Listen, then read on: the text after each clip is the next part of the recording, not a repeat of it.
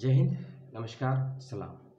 Central university of Haryana की तरफ़ से पीएचडी तेईस और चौबीस के सत्र के विंटर सेशन के एप्लीकेशन फॉर्म आए हैं। उसकी सूचना आपके समक्ष है, छोटा सा वीडियो है, समस्या, सवाल, जिज्ञासा, कोई हो आपके जहन में, दिल में, दिमाग में, लिवर किडनी में, सवाल पूछ लीजिएगा। सोलह फरवरी से फॉर्म भरने की डेट स्टार्ट कर दी गई है और छः मार्च 2024 तक फॉर्म को फिलअप कर सकते हैं। कुछ बच्चों का एप्लीकेशन फॉर्म एग्जामेशन कैटेगरी के थ्रू भी होगा और कुछ बच्चों का फॉर्म एंट्रेंस के थ्रू भी होगा एडमिशन के लिए। जो बच्चे एग्जामेशन कैटेगरी में है, उसके लिए मैं आपको बाद में बताऊँगा, लेकिन जो बच्चे एस सी एस टी और पीडब्ल्यूडी कैटेगरी में है प्लस वुमेन कैंडिडेट है, उनको रजिस्ट्रेशन की जो फ़ीस है, नामांकन की फ़ीस है, नहीं देनी है। S C S T P और वुमेन कैंडिडेट को रजिस्ट्रेशन की फ़ीस नहीं देनी है, उसको एग्जामेशन दिया गया है रजिस्ट्रेशन फ़ीस से। इसके अलावा जो बच्चे जनरल कैटेगरी में है ओबीसी कैटेगरी में है ईडब्ल्यूएस में उनको फ़ीस देनी होगी वन थाउज़ेंड रुपीज़ की। एंट्रेंस एग्जामिनेशन की जो डेट संभावित बताई जा रही है, वो की है 16 मार्च 2024 और 12 मार्च के आसपास या 7 मार्च 10 मार्च के आसपास आपका एडमिट कार्ड भी वेबसाइट पर अपलोड कर दिया जाएगा। इसके अलावा ही साथ ही साथ जो इंटरव्यू की संभावित डेट है, वो भी इसमें बताई जा रही है। 18 से 20 मार्च के आसपास आपके इंटरव्यू का शेड्यूल आ जाएगा वेबसाइट पर, इसका ध्यान रखिएगा, ठीक है? और फिर लगभग अप्रैल के सेकेंड एंड थर्ड वीक से आपकी क्लासेस भी स्टार्ट होने की सूचनाएँ बताई जा रही है। एप्लीकेशन फॉर्म भरने का लिंक मैं आपको डिस्क्रिप्शन बॉक्स में दे दूँगा। एंट्रेंस एग्जामिनेशन ऑफलाइन माध्यम से होगा, आपको यूनिवर्सिटी में ही जाना होगा और फ़िज़िकल मोड में प्रवेश परीक्षा आपको देनी होगी। प्रवेश परीक्षा सीबीटी या ओएमआर किसी भी माध्यम से पूछी जा सकती है। परीक्षाओं में जो क्वेश्चन होंगे एमसीक्यू माध्यम से आपसे पूछे जाएँगे, लिखित परीक्षा नहीं होगी ऑब्जेक्टिव टाइप क्वेश्चन आपसे पूछे जाएँगे। तीसरी बात यह है कि तीसरी कही चौथी कह लीजिए कि जो यूजीसी नेट का सिलेबस है पेपर वन का, उसको अच्छे से अध्ययन करिएगा।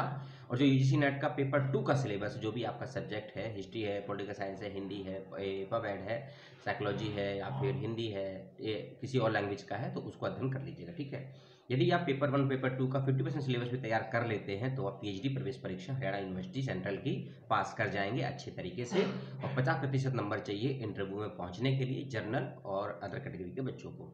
जो बच्चे रिजर्वेशन कैटेगरी में हैं, उनको पैंतालीस प्रतिशत नंबर चाहिए इंटरव्यू तक पहुँचने के लिए। किस विषय में कितनी सीटें हैं, उसको भी ध्यान से सुन लेते हैं, फिर वीडियो को समाप्त करते हैं। उन्नीस सब्जेक्ट में इस बार सीटें आई हैं। लगभग फिफ्टी परसेंट सीटों सब्जेक्ट में सीटें नहीं आई हैं, कारण मुझे नहीं मालूम है तो ना मुझसे कमेंट करके पूछिएगा। सीधा सवाल आप यूनिवर्सिटी से करिएगा कि इतने कम सब्जेक्ट में सीटें क्यों निकाली गई हैं डिपार्टमेंट में, और सीटों की संख्या तो उससे भी कम है। इसलिए मैंने आपको सीटों की टोटल संख्या नहीं बताई है, बताने लायक है नहीं सीटों की संख्या, इसलिए मैं आपको टोटल सीटें बता दूँगा और डिपार्टमेंट डिपार्टमेंट की संख्या है उन्नीस और सीटों की संख्या है आपके समक्ष। डिपार्टमेंट ऑफ़ बायोकेमिस्ट्री टोटल पाँच सीटें हैं। ये सीटें कैटेगरी में बटी हुई हैं। ध्यान रखिएगा, किस कैटेगरी में कितनी सीटें हैं, उसके लिए प्रोस्पेक्टर या ब्राउचर का रुख कीजिएगा। इसका लिंक आपको डिस्क्रिप्शन बॉक्स में दे दिया गया है।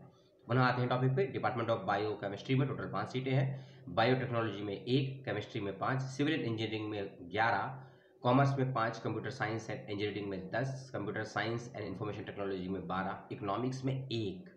जिस देश के हालात बद से बदतर हैं आर्थिक स्थिति के तौर पर, उस समस्या को देखते हुए सब्जेक्ट में केवल एक सीट है इकोनॉमिक्स में। इलेक्ट्रॉनिक इंजीनियरिंग में सत्रह इंग्लिश फॉरेन लैंग्वेज में दो लाइब्रेरी इंफॉर्मेशन साइंस में एक मैनेजमेंट स्टडीज़ में पाँच मैथमेटिक्स में दो न्यूट्रिशन बायोलॉजी चार। स्वास्थ्य की हालत बेहद गंभीर है, देश की भी, सत्ता की भी, समाज की भी, लेकिन सीटों की संख्या उससे भी कम है चार। फार्मास्यूटिकल साइंस में पाँच फिजिक्स एंड एस्ट्रोफिजिक्स में चौदह सोशोलॉजी में एक टीचर एजुकेशन। इसमें आठ सीटें हैं। इस सब्जेक्ट में आप यदि साइकोलॉजी के हैं, एंथ्रोपोलॉजी के हैं, एजुकेशन के हैं अडल्ट एजुकेशन के हैं, स्पेशल एजुकेशन के हैं, टीचर ट्रेनिंग का कोई कोर्स कर रखा है या एमएड या एमए एजुकेशन के तो इस सब्जेक्ट में अप्लाई कर सकते हैं। पीएचडी के लिए डिपार्टमेंट ऑफ़ टीचर एजुकेशन जिसमें आठ सीटें आई हैं और लास्ट में टूरिज़्म एंड होटल मैनेजमेंट, इसमें चार सीटें आई हैं टोटल। ये है सीटों की संख्या। एक और बात सीटों की संख्या को कभी भी बढ़ाया और घटाया जा सकता है, ऐसा नॉर्म्स में मैंशन है। और रूल्स एंड रेगुलेशन और भी क्या है इस यूनिवर्सिटी के, इसको आप वेबसाइट पर जाकर ध्यान से पढ़ लीजिएगा, समझ लीजिएगा। उसके बाद ही फॉर्म को अप्लाई करिएगा और मेरी सूचनाओं पर अमल कीजिएगा। आपके पास कोई डाउट शंका, जिज्ञासा हो दी गई इन्फॉर्मेशन को लेकर कमेंट बॉक्स में उसका स्वागत है।